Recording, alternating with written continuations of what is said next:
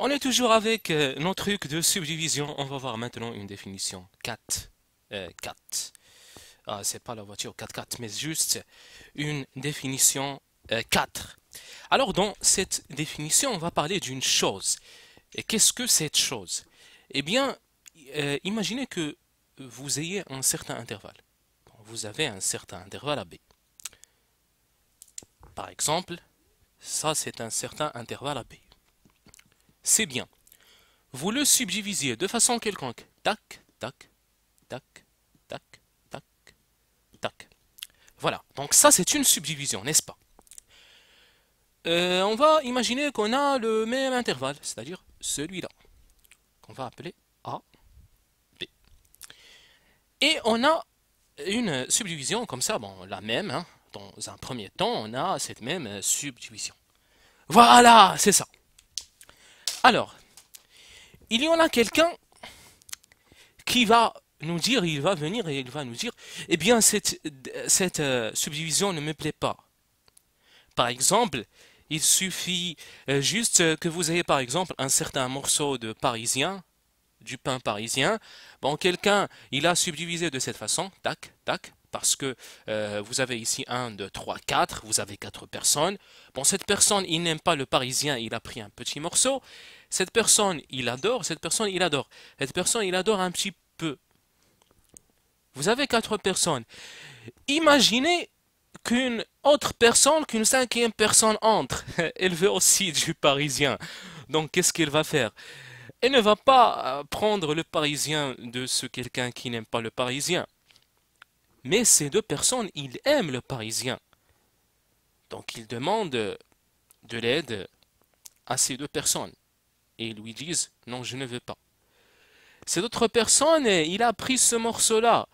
Bon, il a dit, non, je ne veux pas aussi. Mais cette personne, il déteste le Parisien, alors il va dire, bon, je vais partager avec toi un petit peu. Donc, il va partager et on va voir une autre subdivision.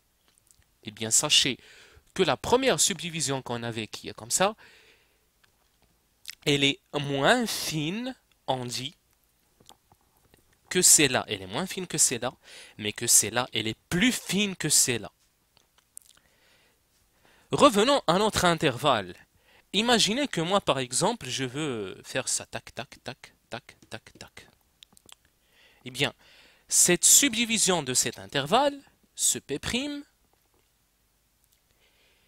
est plus fine que P, si j'appelle ça P, cette subdivision-là. Pourquoi? Car, vous voyez, que P, elle est incluse dans P'. Donc on va maintenant donner notre définition. Donc je vais effacer un petit peu ça.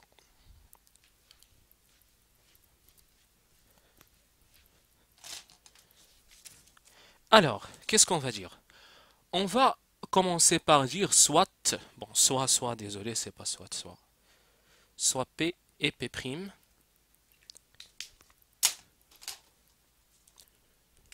de subdivision de AB, du même intervalle de AB. Eh bien, si P, il est inclus, si la subdivision P est incluse dans P', alors alors, si P est incluse dans P', on dit que P' est plus fine que P, en toute simplicité. Donc ce, ce, ne sont pas des choses que vous devez apprendre, mais ce sont des choses que vous devez imaginer. Ok, donc j'espère que tout ça est bien clair. Donc après, on va voir euh, des exemples sur euh, ces trucs de subdivision, etc.